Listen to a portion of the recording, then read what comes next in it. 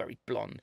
The milf, the milf, milf of all milfs in my eyes. Absolutely, absolutely, you know, absolutely Strong uh, milf, beautiful. as you would say.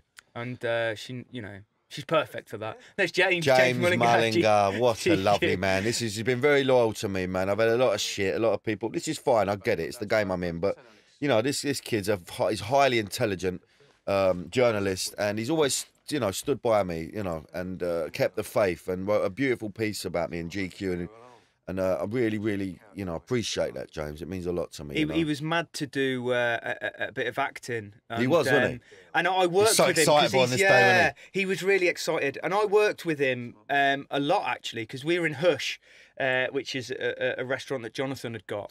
Um, This is the restaurant we're filming in now. Hush, yeah, yeah, that's right. Hush, and um, uh, Jonathan had got this as a location, and it's you know perfect for the scene.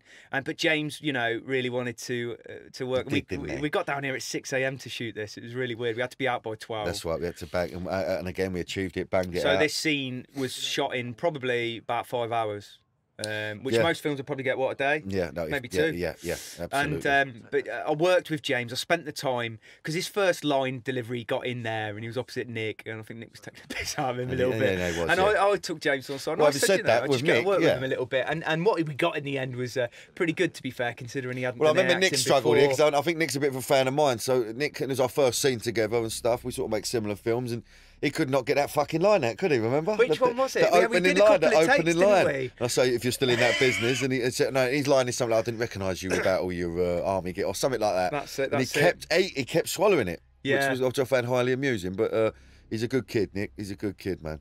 Good actor.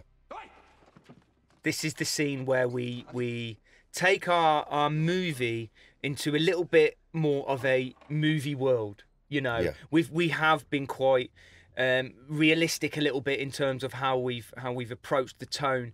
And this is the first scene where we get you know it's a bit of a bond moment. It's it's that movie where you go to get the tools that you need you know Yeah. to do the, the act. And i thought we don't really have a lot of places to have a bit of fun with vendetta so let's do it here you know this is the only Place. We always made the decision to make me look really smart as well, really slick and quite bondish with the roll neck and the. Yeah, well, with the, the idea there was the fact that we wanted, because you, again, going back to the mentality of being a realistic SAS guy, they he, he's going to have that. I just want to watch this shoot. Hang on. Yeah, yeah, yeah. Good, good. Here we go.